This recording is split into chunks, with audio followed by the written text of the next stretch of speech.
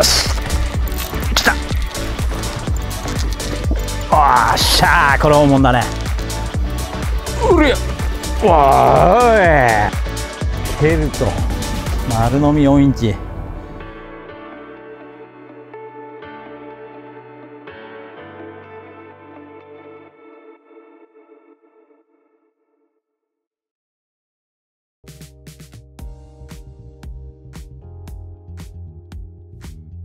えー、今回開発したこのケルトなんですけどもやっぱり自分がいろいろなこう対象魚ゲームフィッシュをソフトルアーで狙っていて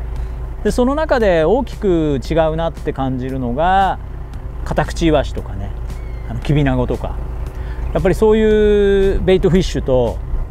あとはベラだったり念仏台だったり時にはあの小さいメジナだったりっていうような魚を捕食してる時のやっぱりソフトルアーへの反応っていうのがやっぱりすごく違いがあるなっていうのをねこう釣り込んでいくうちにだんだんこう分かってきまして。でエコギアシリーズの中でもうずっとこう長年愛用してきてる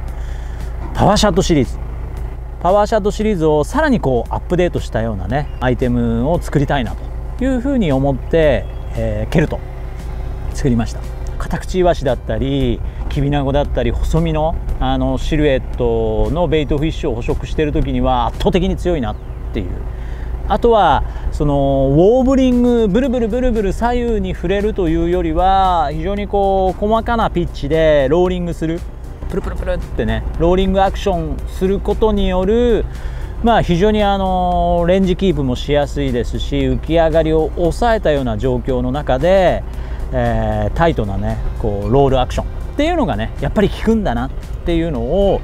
まああの前々から思ってまして。でそこにさらなる飛距離とかあとは3.5インチ4インチっていうそのサイズ感。今のすごいあのトレンドのサイズ感も取り入れてあとはこういったですね painted color ですね。塗装してさらにその baitfish-like なイメージをですね強く打ち出すと。スイミングテンヤキラキラ 40g とケルト。4インチですね。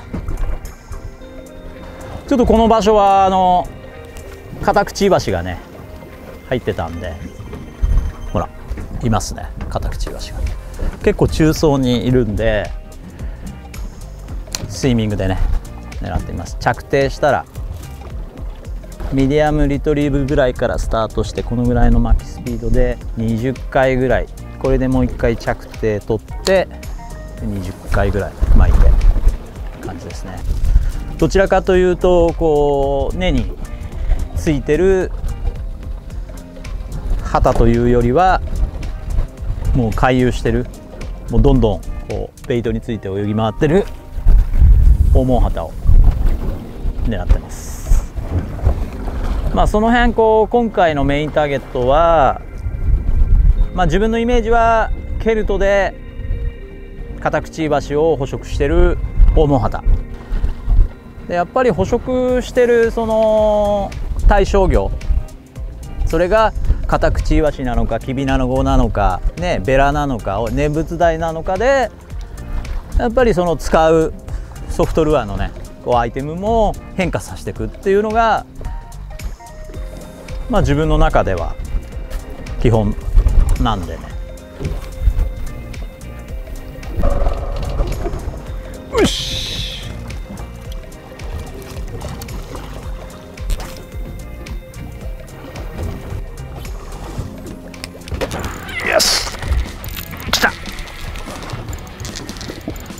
っしゃーこれ大物だね。ドーンきたよ。狙い通り。グッサイズ。はい大物旗。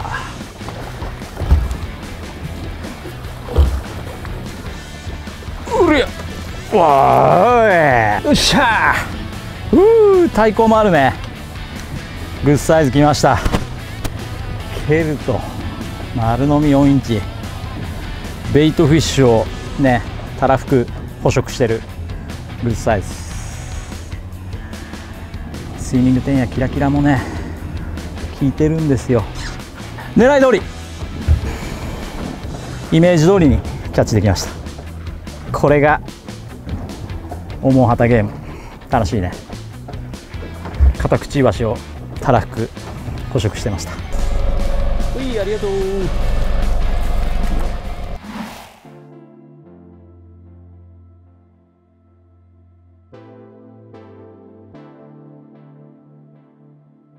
次は赤旗を狙ってみたいんですけども、まあ、スイミング10やキラキラの 40g に今度はバルト。ね。えー、ここはですねベラとか念仏台とか赤旗のサイズのいいのはね結構ベイトを捕食してるんでそこ近く泳いでるようなベイトフィッシュのね、えー、シルエットでやってみたいと思います。赤旗もまあ基本はこうただ巻きでやるんですけど巻き数を5から10ぐらいのちょっと下を引っ張る感じの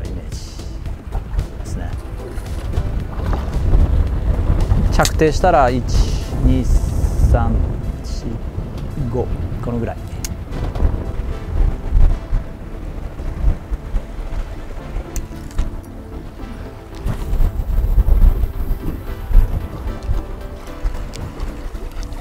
およ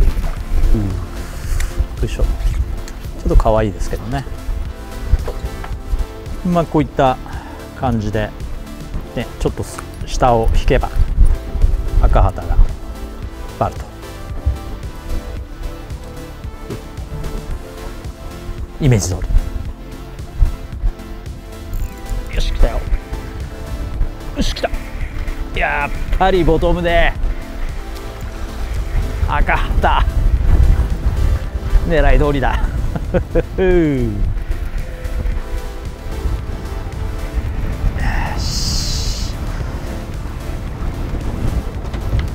よっしゃバルトで赤旗。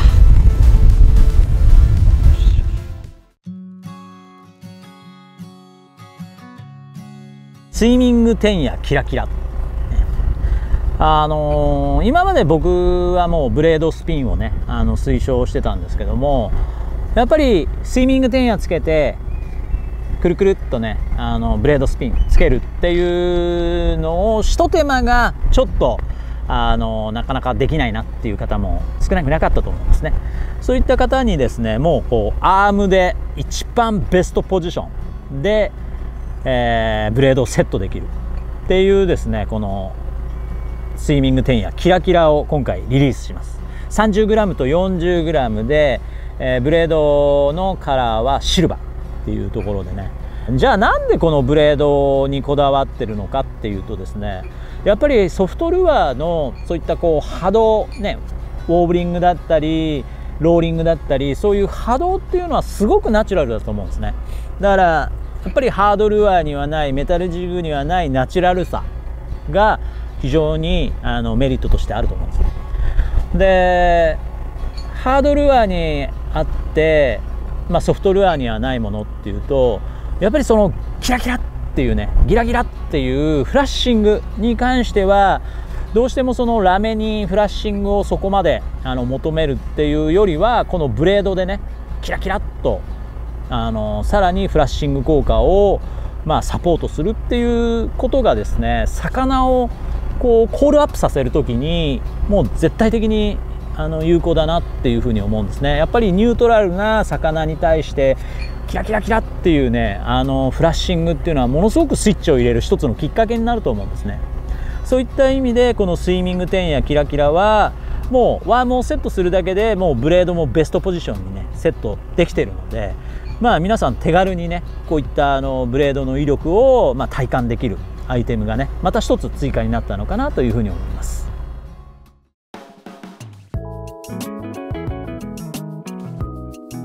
まあ、今回あと付随してこだわったのが飛距離ですね。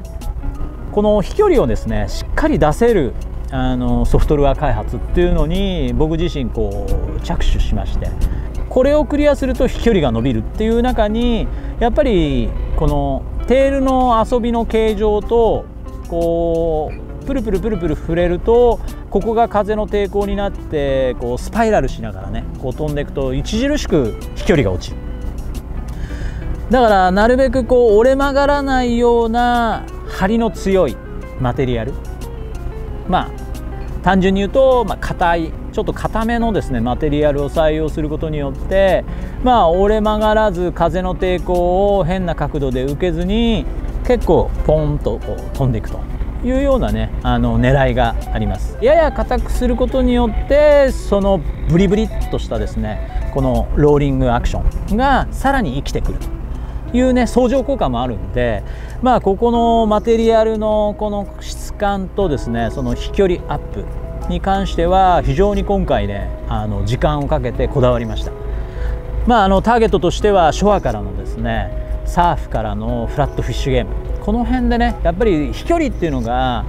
絶対的なねアドバンテージになるので、まあ、その飛距離っていう部分においては3.5インチも4インチもねあの確実に飛距離アップを狙えるアイテムとしてね、えー、開発しました。あとこのケルトのですねディテールに関しての、えー、こだわりなんですけどもまずこの縦ラインここにね背中に溝が縦に1本入ってます。でオフセットフックを使う時なんかにもここのねスリットがフックポイントをね針先を隠すのに非常に有効になるかなと。思います。でやっぱりこのシャトテールのワームにおいてはまっすぐ刺すことによって、えー、規則正しいねロールアクションピッチのあの細かいアクションが生まれるのであとフォール時にスパイラルしないとかね。そういったメリットもあるのでこの縦のね溝に合わせてフックをジグヘッドの針先をねこう出すことによってまっすぐセットできる。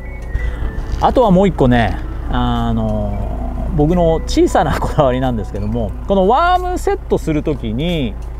こうドンとついたこの先端部分がですねスイミングテンヤの角度と同じにしてあるんでこうなんとなくこう綺麗に収まるっていうところがまあ今までのパワーシャットシリーズにもないし今までのバルトにもない。まああの見た目はもちろんなんですけども障害物にこう当たった時にやっぱりこうしっかりここがね一体化してる方が岩にゴンと当たってずれたりとかする時も少なくないんでまあこの辺のねあのセットがしっかりできるっていうこだわりもねあのスイミングテンヤに装着することを考えて、えー、角度もバッチリ調整してあります。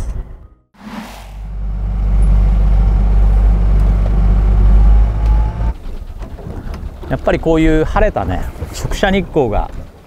結構水中に透過してるような時っていうのは大毛旗の覆いもいいですよね。特にこう上を見上げて多分捕食してくるんでそういったあのスイミング点やキラキラのねブレードのフラッシングとかで結構やっぱりこう旗自体がねあここに餌があるっていうスイッチをまあ入れやすい。だから僕は必ずあのブレードをねつけるようにしてるんですけども。